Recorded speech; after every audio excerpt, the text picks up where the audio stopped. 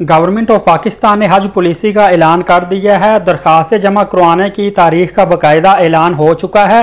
तेरह मार्च 2023 से आपकी एप्लीकेशन जमा की जाएँगी, जिसमें एक लाख उनासी हज़ार पाकिस्तानी लोग हज का फरीज़ा अदा करेंगे, जो कि एक बहुत बड़ी तादाद है।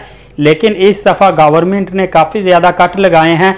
मतलब पहले इन्होंने प्राइवेट कोटा जो है वो 40 परसेंट किया था और सरकारी कोटा 60 परसेंट किया था।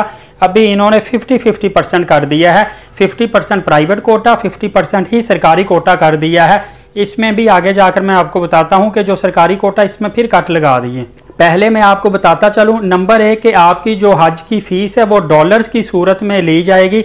मतलब कि आपको बता दिया जाएगा कि इतने डॉलर फ़ी है, चाहे डॉलर कम हो, ज़्यादा हो, उतनी ही फ़ी आपको अदा करनी पड़ेगी। फ़िलहाल पाकिस्तानी करेंसी में जो ऐलान हुआ है, वो दस लाख पच्चीस हज़ार रुपये का सरकारी हज के लिए ऐलान हुआ है।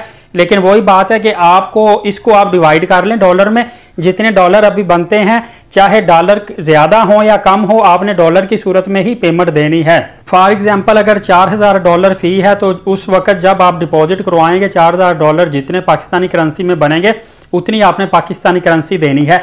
लेकिन जो डॉलर ही डिपॉजिट करवाएगा ना, उसके लिए सरकारी कोटे में कुरानंदाजी की ज़रूरत नहीं होगी। डॉलर की सूरत में आप रकम जमा करवाएँगे तो विदाउट कुरानंदाजी आप हज कर सकते हैं। उन लोगों के लिए काफ़ी बेनिफिट है, जिन लोगों के पास डॉलर्स हैं जो ओवरसीज़ हैं। इसके अलावा पीआईए ने भी बाकायदा ऐलान कर दिया है हज के लिए, फ़्लाइट ऑपरेशन के लिए, और इन्होंने भी काफ़ी ज़्यादा फ़ी रख दी हुई है। पीआईए ने भी बाकायदा डॉलर की सूरत में फ़ी लेना शुरू कर दी है, किराया जो लेना शुरू कर दिया है, और इन्होंने तकरीबन 870 से लेकर 1180 डॉलर तक किराया मुकर किया है। एक एवरेज में आपको बताता चलूँ, तकरीबन इन्होंने तीन लाख से साढ़े तीन लाख रुपए किराया मुकर किया है पाकिस्तानी करेंसी में मौजूदा इस वक्त।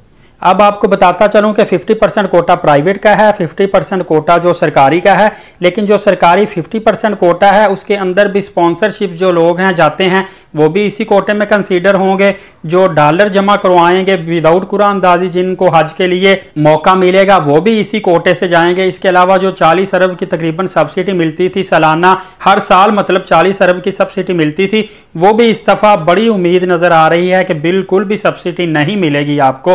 गवर्नमेंट वो सब्सिडी ख़त्म करने जा रही है।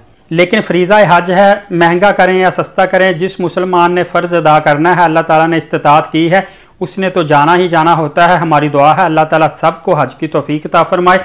जो भी लोग मेरी वीडियो देख रहे हैं, मेरे चैनल को सब्सक्राइब करते हैं स्पेशली उनके लिए दुआ है कि अल्लाह ताला उनको हज और उम्र की अदायगी नसीब फरमाए।